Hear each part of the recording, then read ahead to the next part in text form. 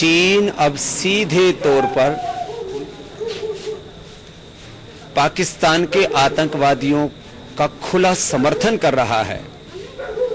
और पाकिस्तान बॉर्डर से लेकर के और भूटान बॉर्डर तक, डोकलाम तक, जिस तरह से युद्ध की धमकियाँ दे रहा है।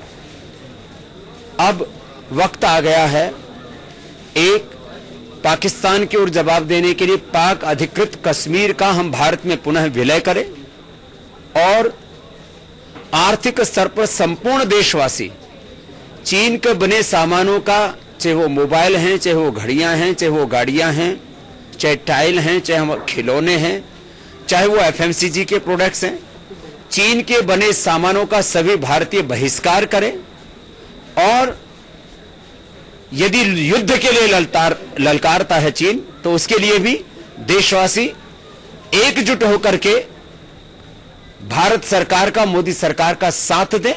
राजनीतिक पार्टियों को भी आपसी सीटा किसी से बाहर निकल करके आना चाहिए। राष्ट्र की एकता, अखंडता और संभवता के प्रश्न पर राजनीतिक दलों को कोई भिन्न भिन्न राग नहीं आलापने चाहिए। जब तक पाक अधिकृत कश्मीर का भारत में विलय नहीं होगा, रोज हमारे शहीदों के शव सीमाओं से आएँगे। अब रोज रोज के युद्ध से, एक बार का युद्ध सही।